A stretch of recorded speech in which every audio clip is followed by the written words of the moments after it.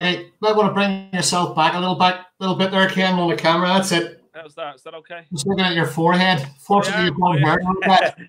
Like, listen, No. my arms aren't that long. You know what I mean? You know, I'm surprised you've kept your hair after all these years. To be honest with you, Well, it is. I don't know. mine. Are, they, It is. have you done- It, do- it's not, it doesn't come off. Like you know what I mean? are you sure they're not implants? It's a good fit, isn't No, it? It's a good fit. It's a very good fit. I mean, Jimmy's have Jimmy's has held well, haven't they? They've held very well. yeah, yeah, yeah. Anyway, guys, thanks for joining us. We got Ken Doherty. Sorry about the break in the stream. Ken, thanks very much for joining us this evening. Pleasure, pleasure. As usual, another great top snooker player coming on talk about his career. We're going to, Who's that? Well, I don't know. You'll be here in a minute. I don't know what time. You'll be here in a minute. Is that Joe? Are you talking about Joe Swail? Listen, listen, let me tell you something. Joe's been begging me to come on here for weeks. He's been begging me. But he gets, he, Ken, he gets on my nerves. You know what I mean? yeah, yeah, yeah. No, I, I just said, listen, Joe, Joe, just hang on a second, will you? Just hang on. A, I want to leave you to the end. You, you, Yeah. you can't, you're no good. Yeah, you've done it. You're done. I'm going to leave you right to the end. I'm going to leave you right to the end, and then we'll interview you when we've got time. Yeah, yeah, know? yeah. He says, okay, You'd have to do you'd have to do Joe's in a couple of parts because he, he he wouldn't stop yakking on. You know what I mean? Kenny's worse than me. And let me tell you something, I, I've got a terrible reputation. I've got a terrible reputation for talking. Mm, Quiet as a mouse. yeah, yeah, yeah, yeah. Right, look, Ken. Uh, I tell you, I tell you, I miss Joe on the circuit. We all uh, we had such great fun over the years. You know, I miss I miss having him around. You know, for the laughs and the and the, the bit of crack and the few beers after the tournament or after you play or whatever. You know, he, he, he's great, uh, great company to be around. his jokes are terrible, though, Ken. His jokes are awful. You know, uh, he can't bloody drink either. So, I mean, I don't see the excitement part of it, you know. I know, yeah. No, don't worry about it. It's okay. All right, He Joe. he, he, he said he's only drinking uh, twice a week now, uh, Monday to Thursday and Thursday to Monday. Yeah, no. Funny, you know, Joe was supposed to come on a few weeks ago, but he's just waiting for some little bits of equipment to make the stream easy. He was supposed to come on with Jordan about Oh, yeah. three weeks ago. But Joe will be coming. yeah, Guys, Joe Will will be coming on. He's not as dull as I'm making him out to be. He's a wee no, bit no. more exciting. He's a He lovely is, lad. he's a wee bit more exciting. So anyway, let's get down to you. Ken, you've had 30 year 30 years so far. Yeah. 30 years, 30 year career. You know, you were Irish amateur champion, you know, you were twice, you know, you were junior world amateur champion. You've done you've done all the junior stuff, all the amateur stuff. And then you came in, you got on the tour in 1990, if I've got that right. You know, and then boom, pretty much a couple of seasons, top 16. Within a couple of seasons, you shot straight in the rankings, stayed in the Yeah. top 16 for about 16, 17 years, you know, and great career, fantastic career, you know. Six, you've won six ranking events, you've been runner up in 11. I've looked at the stats, by the way, done my homework for a change, boys. A little bit of research goes a long way. And more significantly, you've had three world finals and you've won one of them. Mm. So perhaps you maybe could have said, well, maybe I could have had another one, maybe not. But let's let's touch on the first one because it was, I think it was, am I right? It was 19, it was 97. yeah, 97, yeah. And uh, let's, have, let's have a little bit of a reflection on that and the build up to that. Uh, well, I mean, the build up to that year, uh, the final was pretty bleak. You know, I'd, I'd lost to uh, Steve Davis in the Masters in London. He beat me 6 1. Uh, then I played him in the Masters here, the Irish Masters in Goffs. He beat me 6 1. And then uh, before the World Championship, we had the British Open down in Plymouth. And I played uh, Michael Judge uh, my fellow countryman, and he beat me in the first round. So I had three first round losses in the three tournaments leading up to the World Championship, and uh, I, uh, I I was going into that year, that World Championship, uh, just clinging clinging on to my uh, top 16 place. I'd lo- uh, if I lost my first round, I was I was paired up in the first round against uh, Mark Davis, mm-hmm. and uh, there was a lot of pressure on me because if I lost that first round match, I might have been uh, been knocked out of top 16. So I went to that year, that World Championship, just uh, concentrating on winning the first game, just to try and keep my top 16 place. So that was like the first match was almost like a big final to me.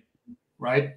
And I was under serious pressure. But the two weeks, um, and I'll never forget this, the two weeks prior to the World Championship, uh, Ronnie O'Sullivan and I decided, right, listen, in the run up to this World Championship, let's just practice with each other every single day because we played in the same club and he had his table. His table was number two, my table was number three.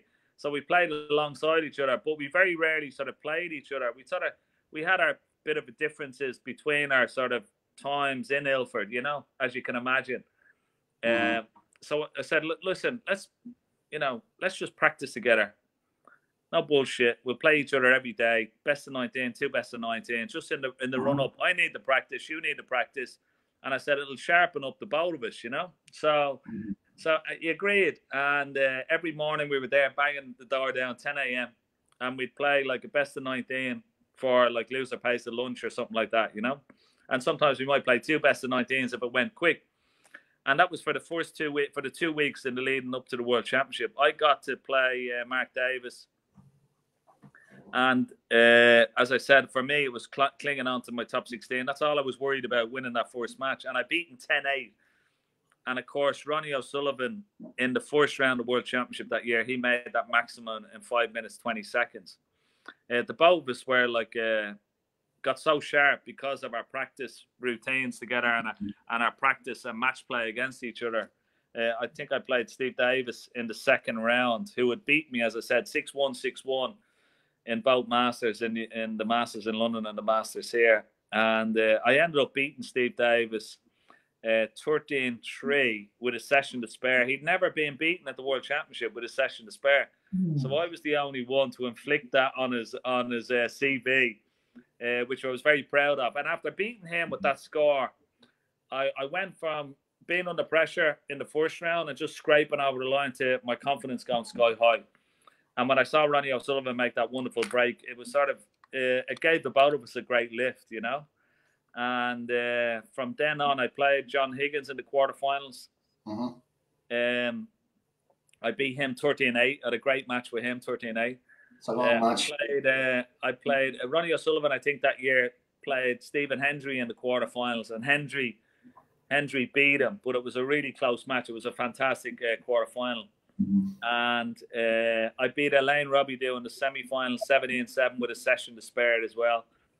And um, of course, uh, Stephen Hendry, I can't remember who he beat in the semi final. It might have been. Uh, Jenny, I, I can't remember who got to the semi final that year. Was it James Wattana? Uh, I'm not quite sure who, who he beat in the semi final. Um, so I was in the final. I played two matches with two sessions to spare. I was fresh as a daisy. I was playing Stephen Hendry in the final, but he was like, it was like playing him in his own backyard because he, he hadn't been beaten there for five years. He was going for like six championships in a row, which is like even in this day and age, it, you, you can't see anybody ever doing that. You know, like you mm. couldn't see like Judd Trump doing that, or Neil Robertson doing that, or or Ding, or anybody doing that. It's, it was just an incredible record that he had. So uh, I was a huge underdog to beat him, um, but I I went out with a smile on my face. I, I played a very relaxed game. I knew he never he didn't like playing me because I'd beaten him a few times in finals and semi-finals or whatever uh, over the course since I was a pro since 1990. So I wasn't like I was scared of him, but I was nervous, I must say, because you know he has he had such a great record there. But you know, look, you you did it in the end, and, and like like some of the others who have done it, just like Sean Mm. You know, it was all or nothing for Sean Murphy. Yeah, yeah, yeah, yeah. Um, a couple of weeks ago, he was talking about that World Championship. Well, yeah, absolutely. Well, I felt, you know, I felt uh, that time that uh, this was a great sort of opportunity for me, you know, mm-hmm. and uh, I thought that if I could do it this time round, this mm-hmm. would be uh, this this was like my chance. You know what I mean? So um, that's what sort of helped me relax a little bit more, like you know. Well, it put you in good stead, and it gave you lots of confidence because I mean, obviously, that you were practicing with Ronnie, and that, yeah. that I mean, do you feel that that was a big contributor? That that really, yeah, really, oh, definitely, definitely, because the, the two of us, as I said, it sort of sharpened us up no end, and um, yeah. you know, I just, I just felt that uh, going into it, playing Ronnie every day, um, was good for me because I, you know, the both of us were beating each other, but we were getting some great match practice, and it was building up my confidence sort of going into it. Uh, but that year, I had no idea I was going to win the world championship at all. Like, I mean, I was I was just concentrating, as I said, on, on the first match, Mark Davis. And once I got over that, it was like it was like a whole weight came off my shoulders, you know. Absolutely. And, uh, and my confidence, my confidence went from being there right up to yep. sky high. And um, and once I got over Davis and Higgins and then Robidoux, I went into the final uh, feeling, you know, this was my chance. You know, I really felt, I really believed that. And I, and I tell everybody this story, like during that World Championship, after like I think it might have been the quarterfinals or something like that, I could see myself because my memories of watching the World Championship was Higgins in '82 and Taylor in '85, and that's why I wanted to be a world a, a, a professional uh, snooker player uh, those images I, I always remember. They were there instilled in me from the age of like 12 and 13. And uh, I could see my, I'd go, I'd go to bed at night. I could dream, I would used to dream of myself lifting that cup up and giving it a big kiss, you know, just like Higgins did and Taylor did. And uh, it's something that I always wanted to do. And for some strange reason, during that couple of weeks, uh, after I got over those couple, the initial matches, uh, I could see myself lifting it up. I thought this was a mm-hmm. great chance. I felt fantastic, and um, I firmly believe that seeing that was like almost you know the way that they talk about visualization and stuff like that. Mm-hmm. And I mm-hmm. firmly believe that helped me uh, so keep so calm, uh, kept kept my belief, kept my confidence, and I went out in that World Championship. And even though Hendry was, mm-hmm. you know, such a big favorite against me, I was so relaxed. I was smiling. I was joking with the crowd, and that sort of was a good sort of psychological sort of ploy from my point of view because I wanted him to know that I wasn't afraid of him. You know what I mean? I wanted him to know that I was enjoying this atmosphere. I was loving it. And that sort of uh, that was sort of a little bit of psychological sort of warfare that was going on, which you had to do, like you know. Yeah, but uh, you know, you were the first one really to break him. You want to put yeah. it like that because he, you know, you you were, I think you were Hendry's. I mean, first that was the first time he lost against you. So I mean, that was a bit of he was a bit surprised. You were like ecstatic, mm. fantastic. But just just going back, you know, a, a wee bit there, Sean. The, you know, you're obviously an amateur champion, Irish champion, amateur world champion. Yeah. You know, you were very, very successful. You, you, you always looked like getting on the tour because you were better than the rest at that time. Did you have an inkling even then that maybe you know what I, I think I can win a world championship? Did no, you? No, I didn't. I didn't know. I went over. I tell you what I did. I left school uh, when I was 18, and I went over to England. I tried to be Irish champion here, and I'd lost in the first round when I was defending it in 88. And I thought to myself, look, I'm not getting any better here. I said, I have to go away. If I don't go away and see how good I am against the best in England, mm-hmm. then I don't, I don't know how I'm gonna, I don't know how I'm gonna progress. I don't know how good I can be. Mm-hmm. So, uh, I made the conscious decision after I finished my leaving cert I had 500 quid in my pocket. I got on the boat, uh, and myself and Anthony O'Connor from Cork, we decided to go over together. We were staying in his mother's cousin's digs over there. Okay. And uh, we said, look, we'll go over there for a few weeks and uh, we'll bring our money with us. We'll see how we get on. Eugene Hughes, who was a resident professional in the Ilford Snooker Centre, says, come over to me. He said, I'll get you free practice and anyway, and that'll get you started. And then you can sort your digs out and uh, and that's how it all started. And I just wanted to go over and see how I could get on against some of the best amateurs in the world because that's where they're all based. And also, they had like proams every weekend over there in Ireland. Like we'd have a tournament like once a month or once every six weeks. So I was playing almost every weekend, traveling to proams all at the length and breadth of the country, and. Uh, Mm-hmm. That's exactly how it sort of uh, I got the practice to try and play against these lads to try and improve, you know. Good point there, Ken. Actually, take heed of that there, lads. I keep saying it to you all the time. Just because you're losing your qualifying matches on the tour doesn't mean you have to stop playing. Just yeah. looking around playing. I have back to back pro-ams every month. You can come down, you know, win four hundred pound a day. Yeah, yeah, yeah. We're good enough. But yes, no, uh, very, very good point. You actually answered a few questions in one hit there. That's great. I love it. Seeing it all just like flows. It's brilliant. Yeah, yeah. Really, really, really easy, easy indeed. So, like, following year after you after you won the worlds, you nearly did it again. Yeah. Well, how did that feel? I mean, all of a sudden you you you you beat Hendry and you got back into the final again. You must have you must have felt a wee bit more comfortable. I did, yeah, and I mean it's such a, a good year as a world champion, you know, and I think that sort of helped me that I didn't want to I didn't want to sort of give up the cup, you know. I had such a great time with it, and um, I got all the way to the final again, and nobody had ever defended it for the, uh, the first time winner had never defended it. That's what they call the Crucible curse, you know. Uh, Joe Johnson almost did it in '87. He got back to the final but most, I remember when Davis won it for the first time, he lost in the first round the following year. When Hendry won it for the first time, he lost in the quarterfinals to Steve James the following year.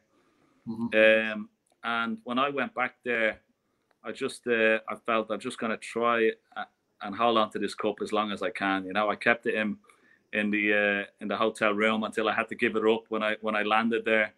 Uh, when the tournament started proper, and uh, I kept fighting and fighting and fighting. I wasn't playing at my best like I did the year before, but I, I just kept kept sticking in, sticking in, sticking in, and we got to the final, and I played John Higgins, who was in inspirational form. He'd made 14 centuries, which was a record that year uh, in the whole championship, and we went into the final session. Uh, the, on the Monday night, I was 13-11 behind, and uh, at 14 11, I potted a brown with just the brown blue and the pink black left. I put the brown into the green pocket and ended up going in off into the middle. So I went, instead of going 14 12, I went 15 11. And he sort of, he ended up beating me 18 12. And that was, I think, my chance missed. But yeah, you never yeah, it was still, it was still, it was, it was nice to get as far as the final, but I still, when I lost it, I was devastated, you know, absolutely devastated. I always tell the story. I always tell the story.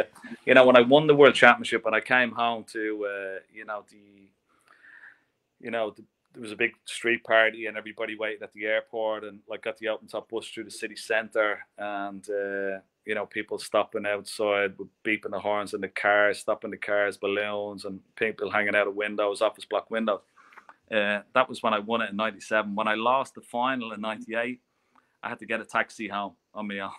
so uh, people say, "What's the difference between winning and losing?" But there you go. That's it in a nutshell. Very, that's a, that's fantastic. And I, I, I think somebody, I think somebody mentioned that to me before. I don't know, a long time ago. yeah. You only yeah. you're going to remember these things, by the way. You know. Yeah, exactly. Yeah, yeah, yeah, yeah. So I mean, just looking at your game, let's just focus on your your your your style of play. You know, I I I, I look at snooker players on a you know a, a sort of you watch them and you, you try to analyze them and and and and and figure out what their style is and what makes them so good. I mean, you you you seem to have a yeah, you, well, you, I suppose you are a bit, a bit of a tactician. You're a bit of a thinker, you know, and you you've got good, pretty good temperament in that respects too. But would you say that those are your strongest parts? Well, what would you say is the strongest part of your game and, and how you made it? Yeah, yeah, I mean, you know, I always I always say to everybody that uh, you know, no matter how much time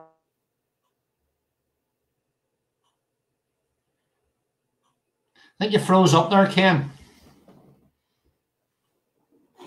buzzing around there like a blue horse flag. you know, out of my game. I've lost you. Come back in, Ken. Okay, hold on. That's all right. How do I come back in now? Yeah. Well, just uh, can you hear do, me? Can yeah, I can hear you okay. Just try and come back in. It's probably better if you try and stay in one position. Yeah, I, know. I know you're a nervous wreck. I know you're a nervous wreck and all that. Try and calm down. I was coming. I was coming in here just to get uh, to get uh, the charger because it runs down the battery quite a lot, doesn't it? Oh, does it? Right. Okay. Yeah, okay. No problem. No problem. I'll tell you what. Can you can you see me now? No, I can't see you. How do I get the camera back? Take yourself out. Take yourself off. and come back in again. Yeah. Right. How do I come back in now? Right. Well, I'm going to. Do I go back out and then? Will I go back out? Yeah, okay. Just come up, just come out and then come back in again if you can. Okay, okay. Or try and join again while you're on. Okay. Yeah. Technical issues, guys. You know, it's just one of those things. You know, can't all be as good as me. staying on here. Ken Doherty's walking around the house like a nervous wreck. What can you do? Oh, he's back again. Oh, yeah, here we go. Three, two, one. We're countdown here. Ah. Is that okay? Oh. Is that okay? That's all right. Now you better stay still or I'm going to start throwing darts at you. Okay? Yeah, no problem. You know, Sorry about that. You're not, a wee, you're not a wee anymore. You know what I mean? You got to stay put. You know, yeah. stay put. I've got I've got the signal and I've got the battery lined up. We're okay. So anyway, we were talking about my Yeah, so uh, oh. we're talking about uh, my game and practice and stuff like that. And all I would say is, yeah, I always I always worked hard. I always practiced a lot, um, and I love the competition, you know. And I grew up in an era where I used to go in, like when I was a kid, I was used to go into when I was about 13 or 14. I used to get the bus into into the middle of O'Connell Street and go around the snooker clubs. I'd have a, like a five or maybe a tenner in my pocket, and I'd go around. I'd go into the Piero in Bachelor's Walk. This would that be my first protocol, and I'd be playing guys for best of like three or best of five for a fiver and I'd try and double up my money there. Then I'd go into the home of billiards from there and I'd try and do the same. And then I'd end up finishing up in the Cosmo, which was downstairs. It was owned by a guy called Jack Rogers, who was Terry Rogers' brother. And in the Cosmo, they had a lot of guys that would play for money, and it was mainly doubles. But I used to try and build up my little, uh, my little uh, pocket money to go in there to play the big boys. And I was only like 14 and those guys were all older lads, and some of them had played international. Most of them had played international for Ireland, and they were all old guys. And they grew up in the time of probably you know the likes of Spencer and Reardon and people like that. You know Pulman. And for me going in playing all those older boys, like these guys being their fifties and late forties, you know, when I was only like 13, 14, they used to play that certain way, a real sort of tight match play, money game you know, you take your like 24s or 32s, you put a color safe, and you play real hard match play snooker because you had to. Because, you know, I only had, I only had, as I said, a 10 or maybe 20 quid in my pocket. You know, these guys might have had a 100 or 200 quid in their pocket. You know what I mean? They could play for money all day long. They had mm-hmm. businesses and stuff like that. And that's how I learned to play the type of game that I, I, I'm sort of renowned for. You know, Crafty Ken um, mm-hmm. But it, it's the reason I am. I, I've always played that way, is because I was always playing for money, and I was always playing these older guys who were very, very uh, hardened match players from playing mm-hmm. in the the likes of the era of of Reardon and Pulman and Spencer and Rex Williams and people like that.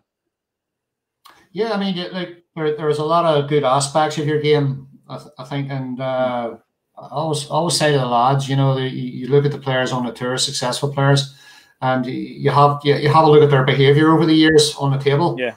And I think that you know your, your temperament's pretty sound. You know your, your overall demeanour is pretty good. I mean, you, you held yourself together, like like you've just expressed there as a young player. You waited for your chances. You developed yeah. that, you know, you, you know, tactical sort of match play.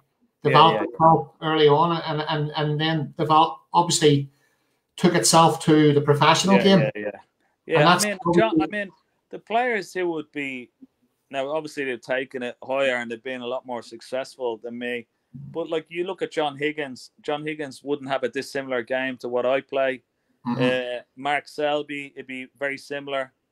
Uh, and even someone like a Stuart Bingham that would have a very similar game to the way I play it. You know what I mean? Uh, it's just that the likes of John Higgins uh, would be would have been uh, he was a more prolific break builder and a better sort of long putter, but he had a, a similar game. We had a similar game, mm-hmm. very very similar game for years before you know, he won his four world championships. You know. And very, very similar, perhaps maybe in, in that respect, just like you've expressed there, very similar types of player.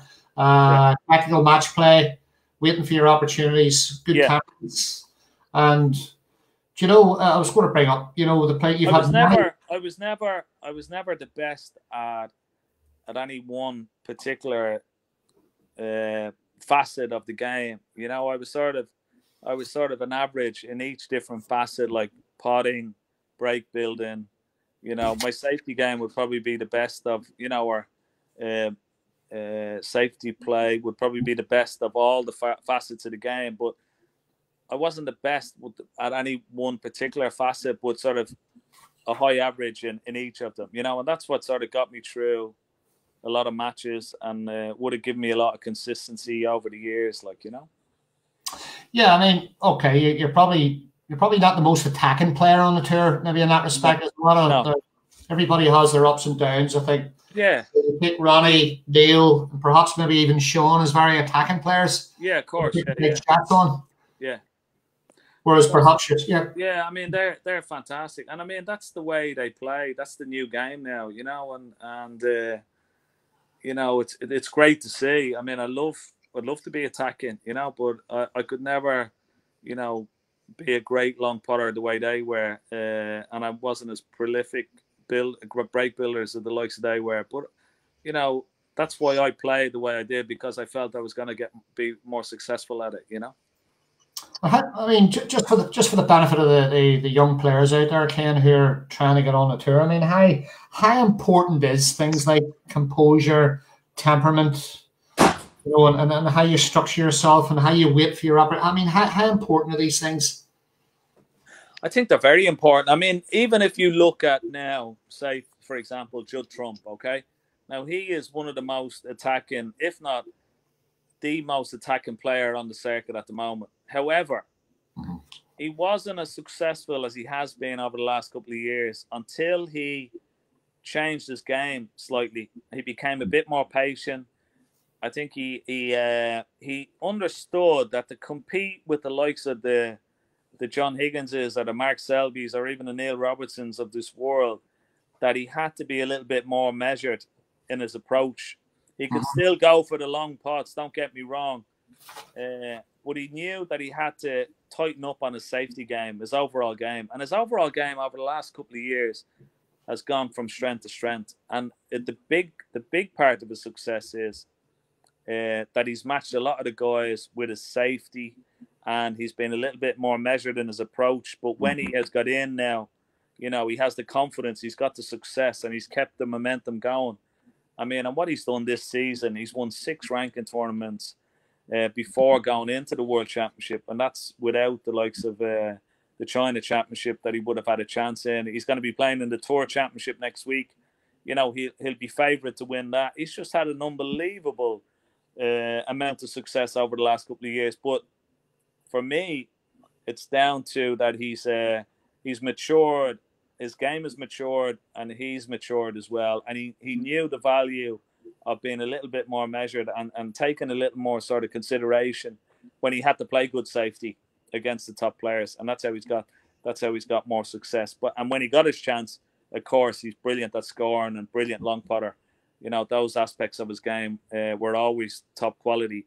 But always what for me used to let him down was his sort of match play instincts and knowing when and what to do in safety. You're not just playing the ABC type shots, but playing very clever safety shots. And I think that's that's improved over the last couple of years.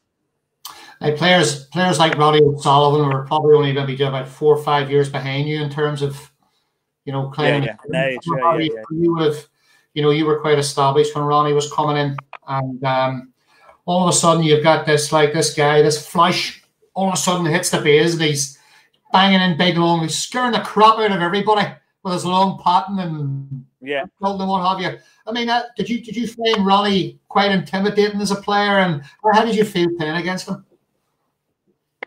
Uh, did I find him quite intimidating? Not really. I mean, I've had I've had some great battles with him over the years, but at times, at times, like you know, he was unstoppable. You know, mm. I mean, I played I, uh, I mean, like I've, I've had some success against them over the years, you know, in mm-hmm. tournaments. There's no doubt about that, you know. But uh, I think the I played him in the UK final one year, and he was on. He was like unstoppable. Unstoppable. I think it was. It might have been 2000. I can't remember what year it was. Uh, but I lost in the final of the UK to Ronnie. He beat me 10-1, and uh, I was lucky to get one. he was like he was like on top of his game. Every chance he was getting, he was winning the frame. He was just he was unstoppable then, uh, and that's about that's almost 20 years ago. You know, so. Uh, he was a, an incredible and still is an incredible player. And uh, at times he was he was frightening, you know. But uh, funny enough, I used to love playing him. I used to I used to really love the atmosphere of playing him. He was one of those players, the likes when you play Jimmy White or Hendry or like uh, even Alex Higgins when he was in his day. Uh, they were if the buzz of playing those type of players was just a different league to playing anybody else, you know. So it really sort of, it excited you more than sort of uh, frightened you playing him, you know. Quite significant to you too, because he, he, he in, a, in, a, kind of way springboarded you, didn't he? Because you practiced with him just yeah. prior to winning your first world championship. Yeah, I mean, well, I mean, yeah, yeah, and I mean, I was in Ilford since 1988. Uh, now he was only, I think he was only about 12 when I first met him. Might have been even mm-hmm. 10. Uh, so I was, I used to practice with him from the age of uh, yeah, he would have been about twelve. I think I'm six years older. So from the age of twelve, I was practicing with Ronnie O'Sullivan, you know, and even then he was good to practice with. So uh, yeah, I mean, I've seen him. I've seen him develop into such a wonderful player and uh, a genius, really, you know, and, and what he can do on the table. So it was great to see him at such a young age. I mean, I remember when his father used to send a taxi for me to go and practice with him. He had a table at the bottom of his garden, and he'd send a car for me. Will you come down and practice with my son? You know, he needs to be playing players like you. Mm-hmm. You know, mm-hmm. he, he learned so much from playing, and he was only twelve at the time. Like you know, and he, wow. You know, uh, yeah, but he was uh, he was still fantastic to play with even then. The ball then, and in terms of you know, as as you progressed, you know, in in your career, mm-hmm. very long career did you uh, did you take the help of uh, uh, from others? Did did you get assistance from coaches or main coaches? Did you? Uh, as I, you know, something I wish I wish I had of. Uh, I was basically a sort of self taught. You know, I didn't mm-hmm. get any coaching from anybody. Uh, I had a coach, Paddy Miley, who would sort of teach me more. He wouldn't really teach me about cue actions or anything like that Mm-hmm. He was basically just about match play and playing matches and mm-hmm. you know just to keep my concentration, play good safety. You know what I mean? This this tactics because he used to be he was an international player himself. You know. Uh, mm-hmm. and he was a good, he was really good sort of soundboard more than anything. Uh, but I never had a, a, sort of technical coach ever. Um, and uh, I mean, I, I, work a little bit now with a good friend of mine, Pat Caulfield. Uh, and I mean, he's not a qualified coach? But he knows the game a long, long time himself, mm-hmm. you know. So, but he's helped me, uh, you know, since I basically turned professional.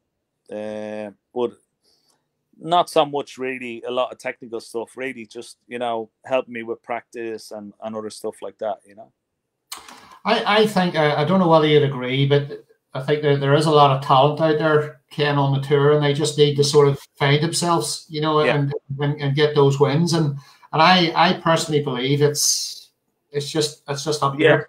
And I think uh, and, that that's the type of new coach. Yeah, yeah, exactly. Yeah. I, I, I, completely, I completely agree. Yeah, I mean, I've been in the latter part of my career. I went to some sort of uh, like uh, guys who would try and help me with my confidence and stuff like that, like mind coaches, you know.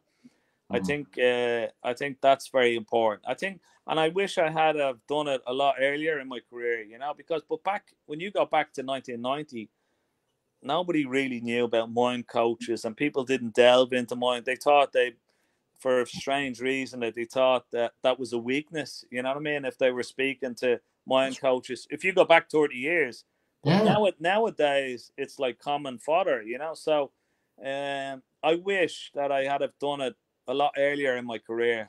Uh, I think it would have helped me a lot more, and I think I definitely would have won a lot more with a lot more help. But I wasn't. I was a little bit sort of closed to it, uh, and I wouldn't. I wouldn't have been as open to it as I would be now. You know. Mm-hmm. Yeah, I think uh, I think support is one of the big things. You know, for the players. You know, guys, you don't need you, you don't need to have a coach if you don't feel you need one. A lot of players like him, self-taught, come in and, and done as well as they have without coaches.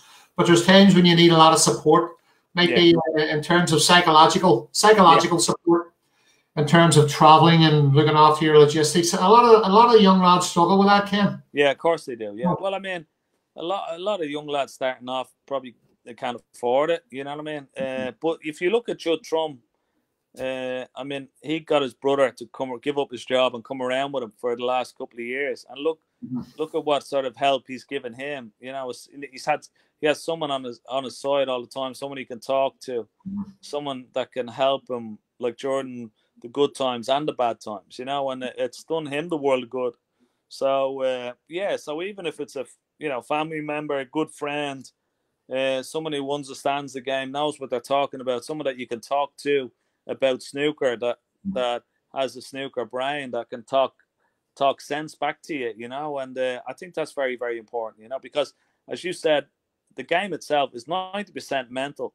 Everybody can go in and make all the, the guys on the tour, you know, they can make centuries or 147s in their club and, you know, uh, mm-hmm. you know, every day of the week. But uh, it's the mental side, it's being in that right positive uh, state of mind every time you go out and you play someone else who's trying to stop you from playing.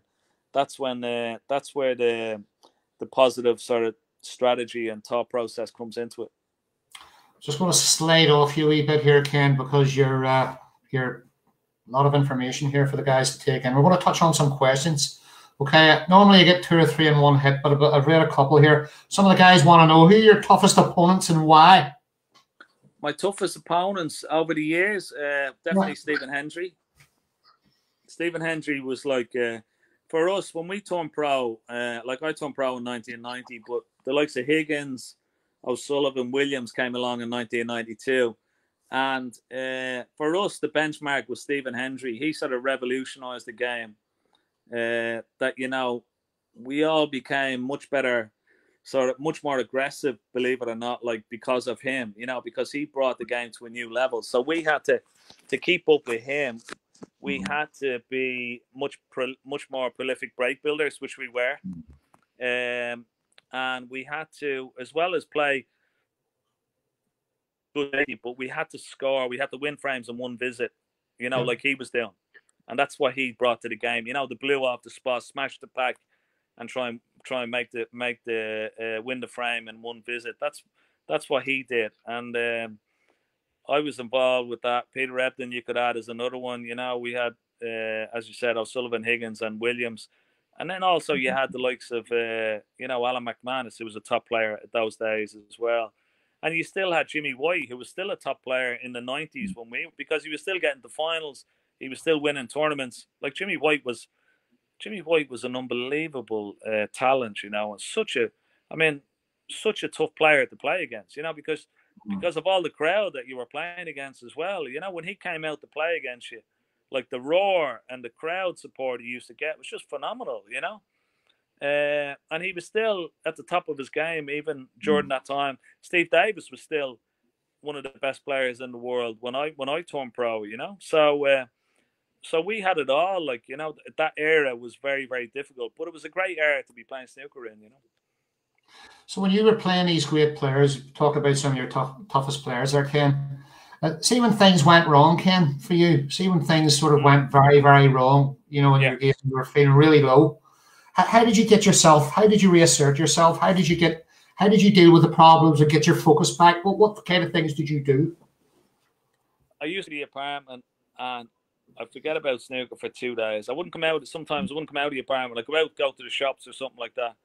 Uh, stay mm. in, and then I'd after a couple of days, I'd be back up to Ilford and I'd be back on the practice table and I'd be getting ready for the next tournament. You know what I mean? And that's all. And when you were up in Ilford, we used to have a system there. Even though I had my own table and that, we'd always play best of seven. Winner stays on. Like you know what I mean? So mm-hmm. because there were not only Ronnie and myself, there was like Stephen Murphy was there, Joe Swail was there for a time, Fergal O'Brien was there, Michael Judge was there. Then you had Nick Terry, Stuart Reardon, Mickey Rowan, all these like guys who were on the tour as well. So you had about Mark King, you had about ten professionals coming in now at Vilford every day, and it was only like two decent tables, you know. So you were playing best of sevens on and off, like you know, winner stays on, the loser comes off and has to wait his turn.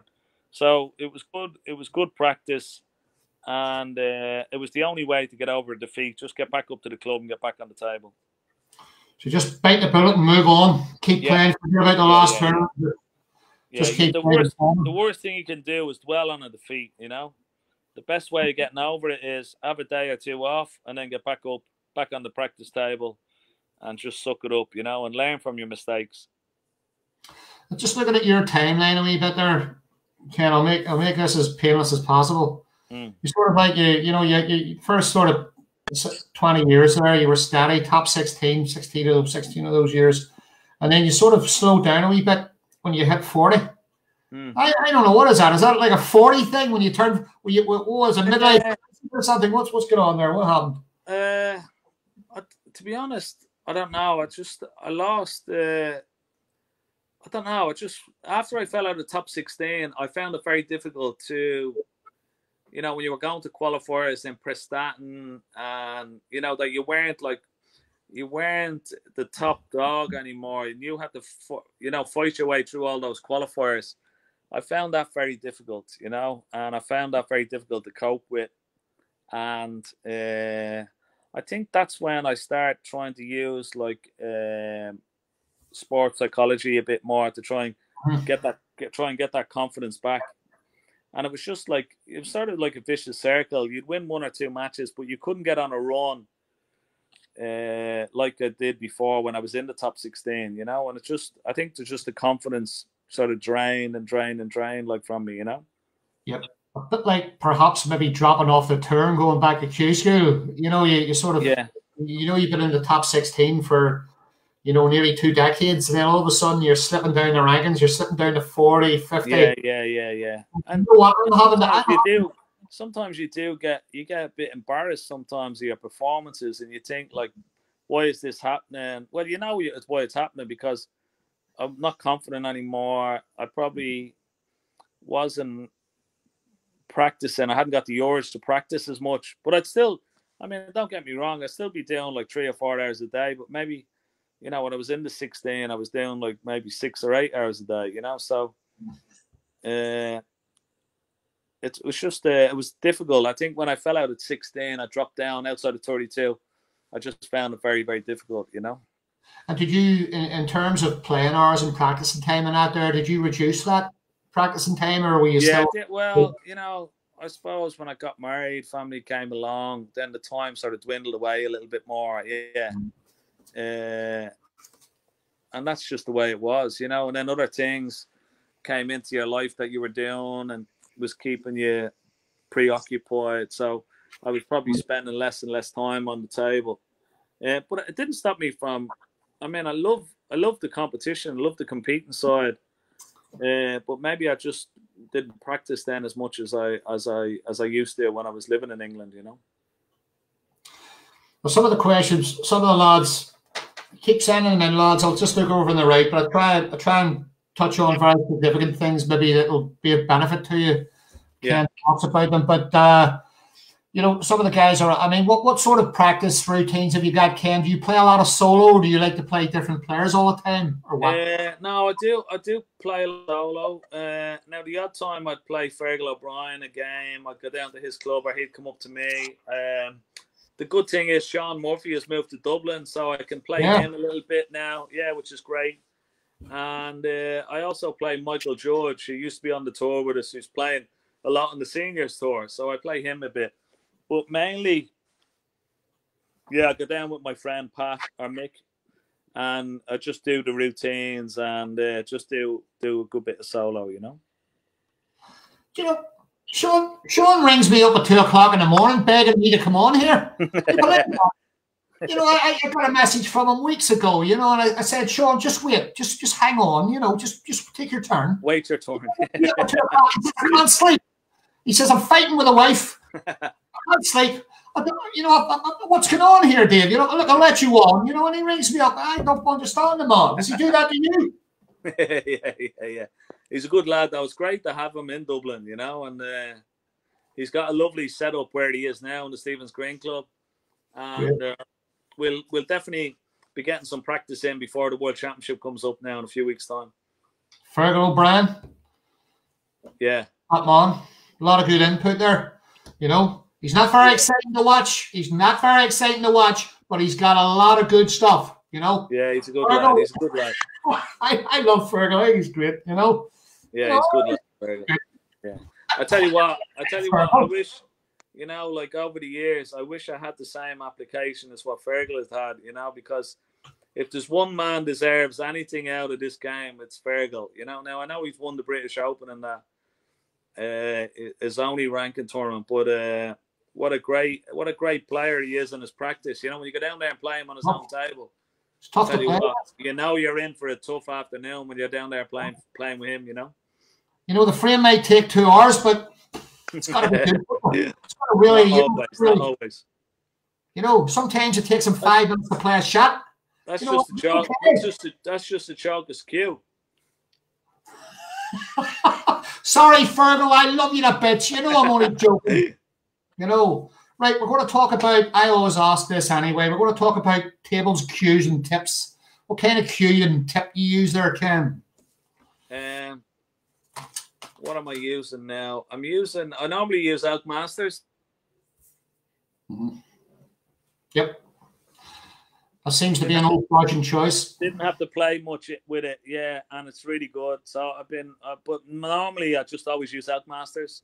I've been using Elk Masters since I since I started playing for 40 years now, you know. So uh, um, uh, my cue I picked up in the snooker club. I don't know what make it is. There's no make on it. Um, somebody had left it behind them in the snooker club in Jason's, and of course I didn't have my cue at a cue at the time. I was only about 10, and uh, Oh, it was it was put on the somebody had left it behind, and it was put on the pool rack. And I picked it off the pool rack. I knew it wasn't a house cue, and I started playing with it. And I loved it. And I asked the manager, could I keep it? And he says, if you give me a fiver for it, you can keep it, you know? And uh, I went around to my mother and asked her for a fiver. I told her I'd do some jobs and I give her the money back, you know. And I, it was a beautiful cue and I loved it. And the manager wanted a fiver for it. And uh, so, anyway, she gave me the fiver. I went into the post office. I got five pound notes at the time. And uh, like I'm talking about 40 years ago now, and I put three pound notes into my left pocket and two pound notes in my right pocket. And I went back around to the manager and I had to kill my hand and I took I went into my right pocket and I took the two pounds out and I had it in my hand like this. And I said, Look at I said my mother couldn't afford the fiver. I said she only had two pound, you know, this is all I have, you know. And he looked at me poor mouth, he looked at the two pound, he looked at the cue, and he says, Give us the bleeding two quid then. You know?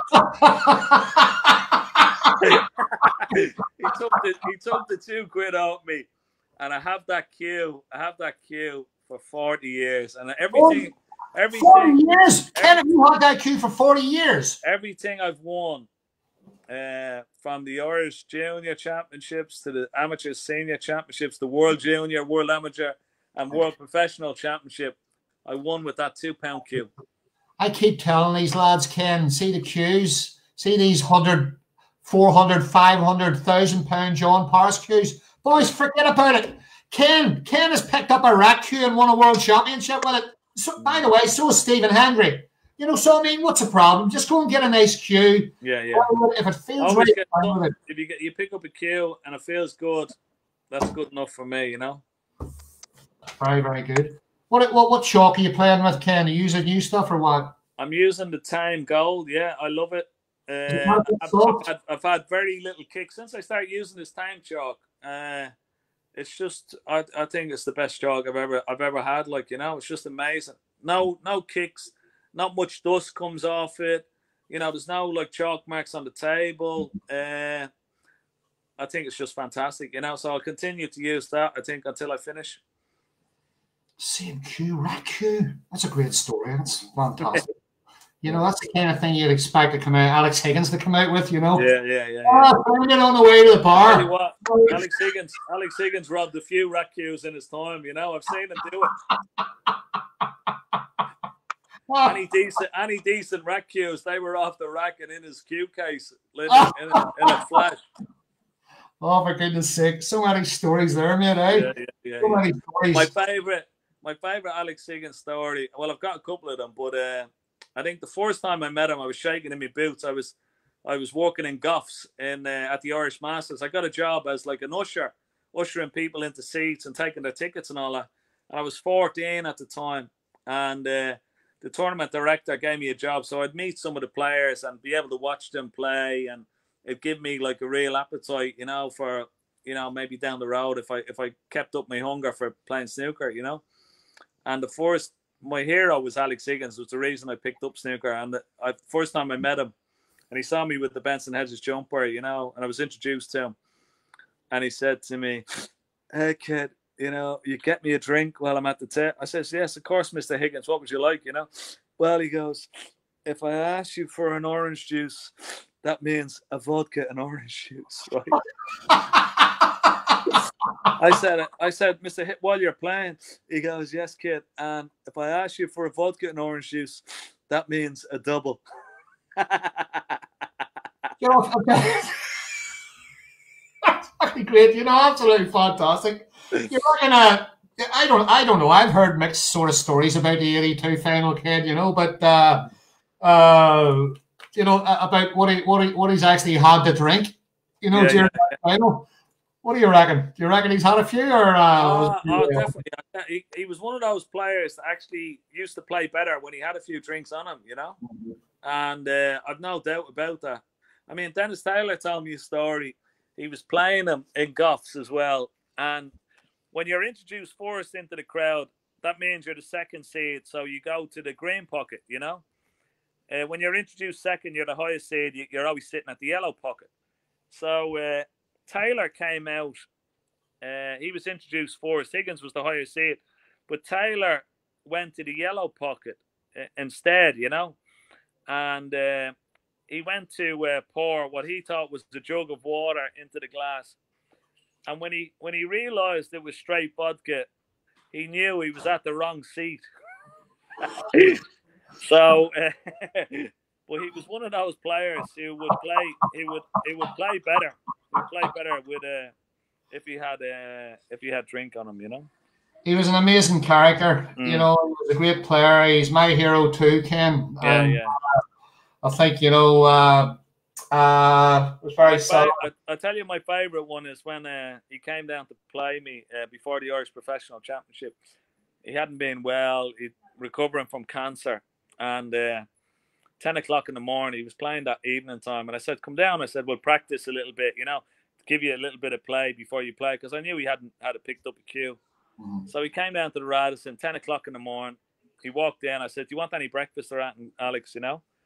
And uh, he said, no. I said, just get me a pint of Guinness, you know? I said, yeah, no problem. He took off his coat. He took out his old Holborn tobacco pack and he started rolling his own, uh, rolling his own ciggies, you know? Mm-hmm. So the point of Guinness came. He took the racing post out of his pocket, and he he he, uh, he ticked off a few of his uh, horses for the day. The Guinness came, and he was smoking in the room. He went around the room looking at at the different uh, photographs on the wall, mm-hmm. and I his picture is on the wall quite a lot, you know, in in my snooker room. Mm-hmm. And I mm-hmm. brought him over to uh, have a picture with George Best. I played George Best when I was about eighteen, you know and I said, I said, here's an old friend of yours, Alex, like over here, Georgie Best, you know. So he came over and he stood in front of the picture like that, and he, he took a drag of the cigarette, he took a sip of the Guinness, and he goes, Georgie Best, he goes, what a waste.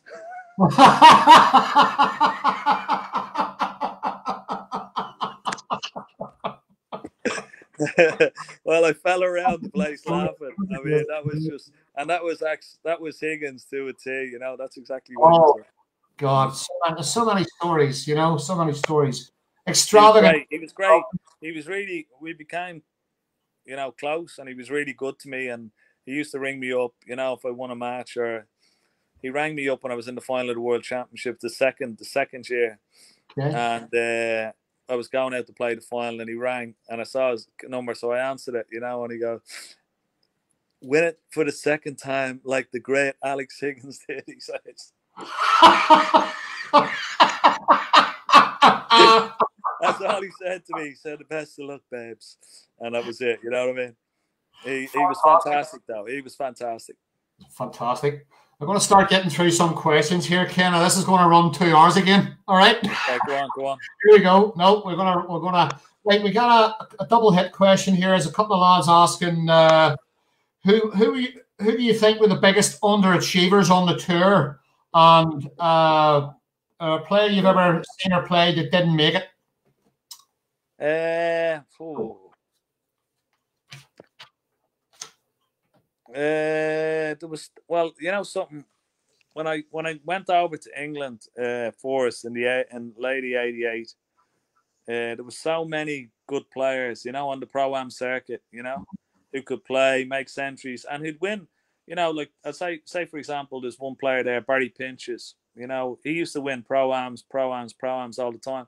When he turned pro, he, couldn't, he couldn't, he couldn't do it. You know, What? and he was one of the most prolific. I mean, during the year of like say 88, 89, 90 before I turned pro, it was Barry Pinches or Peter Ebdon uh, who I'd be playing more more than not in pro ams up and down the country, you know.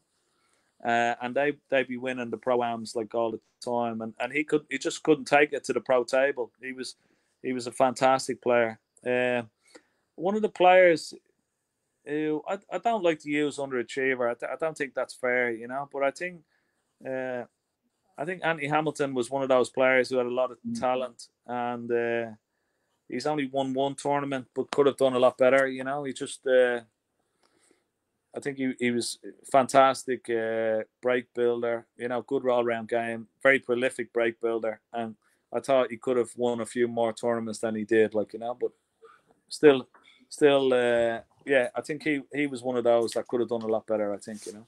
And any new players have catch caught your eye in any way you're impressed with? Yeah, I think I like. Uh, I I love Jack Lisowski. I think he's fantastic. I think he's going to be very successful. Uh, once he gets his sort of, he has to do what Judd Trump now. You know what what Judd Trump did. Um, he has to become a little bit more mature. You know, on the table wise. But I think he's a fantastic talent. Luca Brecel, who just won the, the tournament last week, I think he's he, he could do a lot in the game as well. Uh, I don't think he's going to be a very consistent player, Luca Brecel, but I think he's one of those that could win at tournaments. You know, he could just fly for a week, miss him for a couple of weeks, and then. But he's going to be one of those players that could really do damage. You know. Well, hopefully, we'll be talking to him next week, guys. Luca might be on next week. We're going to talk.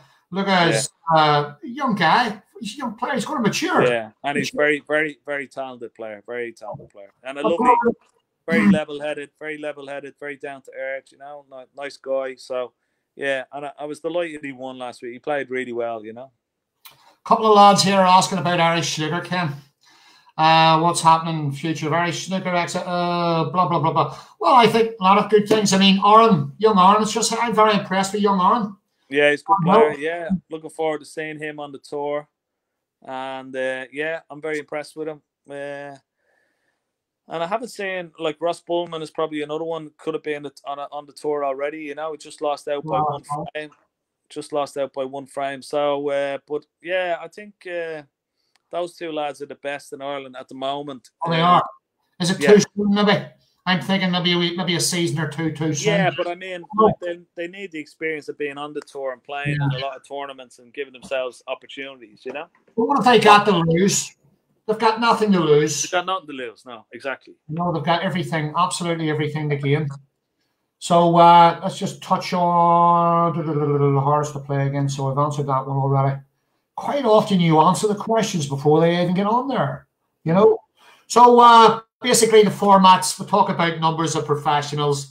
128 professionals on the tour. Ken, is that a good number? Is that fine, or should there be less? What do you think? No, no, I think I think that's fine. I think I think the numbers are good. I don't think I think if you had it down to sixty four, it'd be too small a tour. Uh, I think to give you know, players like amateurs around the world the incentive to get on the tour. I think 128 is a fair number because if you had if you had only 64 on the tour, a lot of the amateurs they may lose interest in trying to qualify because it'd be so difficult to qualify. There wouldn't be many spaces available each year. So uh, I think the system that they have at the moment is probably the fairest system they've ever had.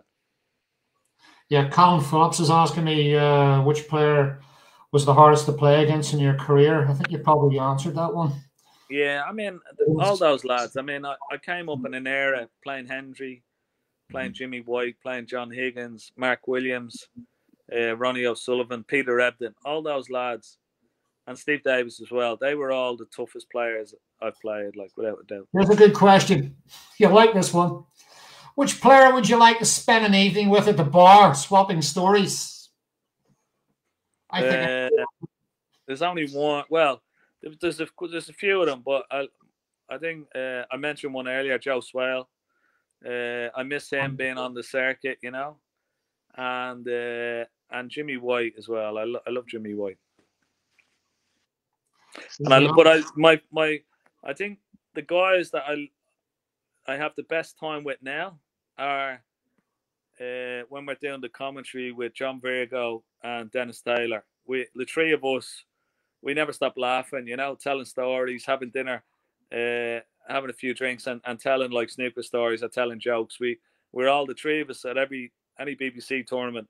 The three of us would be together and we'd be all laughing our heads off. You know. Want to touch on that because we're going to wrap this up very, very shortly, Ken. Uh, I was going to talk to you about the TV stuff. Uh, um, Dr. Water, Dr. Water, Ken, you, you, are I mean, you're amazing. I mean, you've been doing the TV commentary now for a really long time. It doesn't matter who you do it for because it's always good to have a, an ex world champion or a player of your status on there to play. Are you really enjoying the, the TV stuff? Would you like? Yeah, I do. I do. I love it. I mean, uh, I think I've been doing it about ten years now, but I do. I enjoy it. Uh, you know, I, I thought to myself, I'd be only sitting at home watching it because I love watching this game. I love the game itself. Uh, I love the intriguing sort of matches that are, you know, unfolding on a screen. So the fact that you're there and you're watching it or you're commentating, it's just like it doesn't get any better than that. You know, uh, it was either that or I'd be sitting at home, with sofa, I'd be commentating to myself, like you know. So at least I'm there and I'm getting paid for it as well. I mean, it's not it's not like it's hard work. You know what I mean? You can sit at home and talk to yourself if you want. no, carry on. You got to carry on with the commentating. and want to see you more on television because if you keep doing it, you're going to be up there with me. You're going to be up there. you know, just keep doing it. You know, you'll be all right. You know, you'll be. I'll, I'll, let, I'll let you stand in for me, Ken. I'll let you stand okay. in for me. Okay. Thanks, thanks. Right, we're going to boys, we're going to wrap this up really, really, really soon. So, last thing I'm going to ask you, Ken. Okay, this is an easy question, very easy question. What are you? What's happening with you? What are you going to do next? What's left? What's left inside you? What do you want to do? What do you want to do? Uh, good question. Uh, I'd love to. I know it's going to be difficult, but I think I'd love to play at the Crucible once more. Uh, I'd love that would be fantastic to come out to come out through the curtains onto the play in the Crucible. I did it a few years ago, and I got down and kissed the ground, like you know what I mean, like uh, because I was so happy to be back. It was it's just got a lot of great memories for me, you know, uh, playing so many great matches over the years that I've played in um, at the Crucible. So I'd love to play there once more. That would be a nice send off. And I don't know, I, I love I love the game. I love playing it. I love commentating as said, but I love playing it more and I love competing. So as long as I still enjoy enjoy that, I'll keep playing. So I hope to stay on the on the circuit for at least another couple of years, and I'll play I'll play on that circuit and I'll play in the senior circuit hopefully as well. You know, because I think that that has a good future as well. You know, the seniors. You might come up against me, Ken. I look forward to that. I look forward to that. I'm sharp. I'm a big hitter. I'm a big hitter. Big long ball uh, you're saying you're 64 in the world, so yeah. Is there is there something to be concerned about there at the minute? Or uh, well, I, I think I think I've got a. I might have to win a match in the world, or maybe two matches to keep my card. But uh, we'll see how it goes. You know, was uh, I, I, I, played all.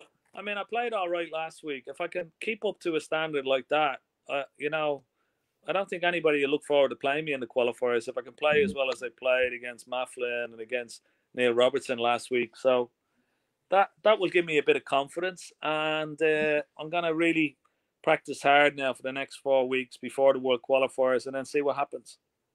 Well, I look, I'm going to get Barry Hearn a ring, and I'm going to tell him that if he doesn't keep you on the tour for whatever reason, I'm going to come for you, Barry. You've got to keep, keep him on the tour, or you're in trouble. oh, absolutely. Ken, can you believe that we've actually managed to keep this down to 65 minutes? Brilliant. I am I am over the moon. Yeah. You know, I've been drinking, look, I've been everybody thinks I'm an alcoholic, by the way. I've been drinking coffee, you know. The only time the only time I've had to have a drink is with Fergal O'Brien and Patrick Waugh. I mean, those two, those two would drive you to drink, Ken. They would drive you to drink just watching them. You know, yeah. Shaun Murphy, Good lads. They're good lads, though. They're good lads. Mark Davis. They're good lads. so much red wine. Yeah, yeah, yeah. They're good lads. Ken, guys, thanks very much for joining us. Big thank you to Ken. Pleasure. Anytime, anytime. As I say, guys, next week we got hopefully we got Luca coming on. We're going to talk Brilliant. to the kid. Brilliant. He's a great young player, and uh, I think a lot of potential, a lot of potential for the future. So, Okay. um, keep keep up to date with everything about the competitions and all the rest of it.